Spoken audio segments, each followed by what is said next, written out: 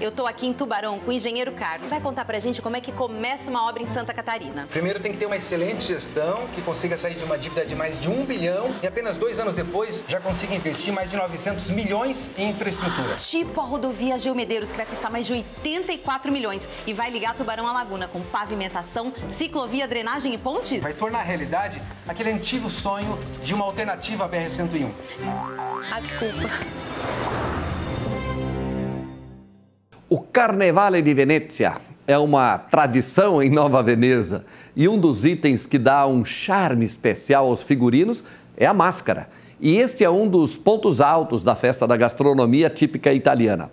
O Clube de Mães vai ter um baile especial só para elas. E para isso, as mulheres estão tendo a chance de aprender e colocar em prática ideias para confeccionar a própria máscara. Eu vou ver se dá, né? Já temos meia renga, mas nós vamos indo. E é desse jeito, com muita diversão.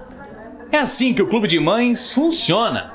Os encontros são tradicionais, assim como o Carnaval de Nova Veneza, que é um evento cultural fortíssimo na cidade.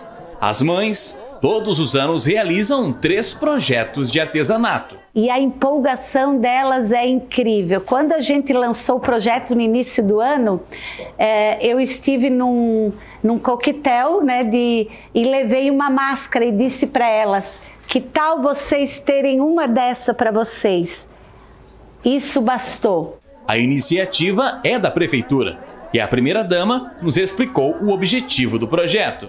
A nossa ideia é, além de elas ter com elas esse elemento importante que é a máscara, ter na casa delas, produzido por elas, é tentar inserir elas também nesse evento cultural que é o Carnevale de Venécia. Os clubes recebem sempre duas artesãs, que são as professoras, além de uma monitora. São um amor, né? Uma melhor do que a outra, né? A Carmen é um desses amores e uma dessas artistas do carnaval.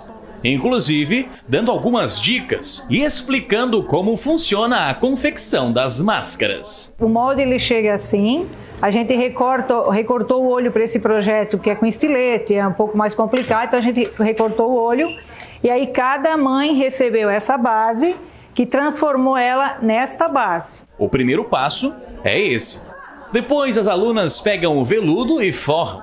A parte de trás também recebe os cuidados. Com as penas é a chegada do glamour. A pena é o glamour da máscara. Aí coloca assim, ó, outro, outro mais tons de pena, recorta a renda ou flor e faz esse acabamento aqui, ó. Cola a renda e cola as pedrarias também para dar o acabamento para ela ficar bonita. Quanto mais pluma, mais pedra, mais glamourosa, mais bonita. Uma, duas, três, quatro, cinco. São algumas das máscaras confeccionadas aqui em Nova Veneza. O número passa de 300.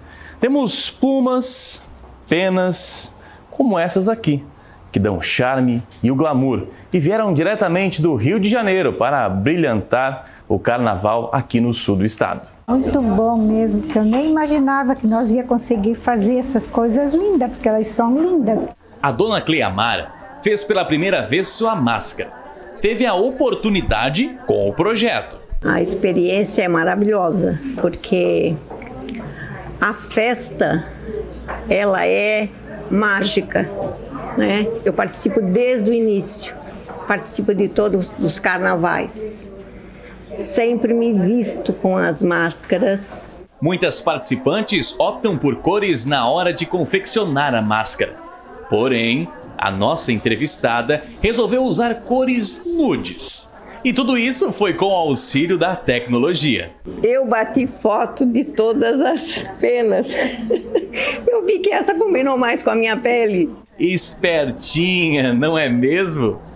A cidade vem valorizando a cultura.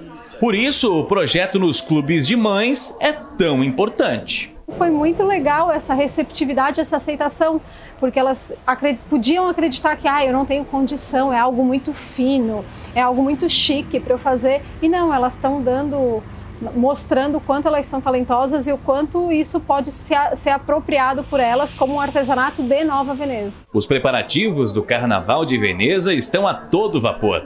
Segundo a secretária, o festival vai respeitar e valorizar a cultura italiana. Baile de gala para evento dia 4 de junho aqui no Palácio das Águas, no Palácio delle Acque, e de 15 a 19 de junho a festa da gastronomia típica italiana. Em casa italiana tudo é festa.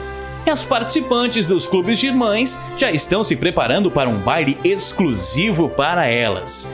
Inclusive, fizeram até um desfile para exibirem suas obras de arte, ou máscaras para os leigos.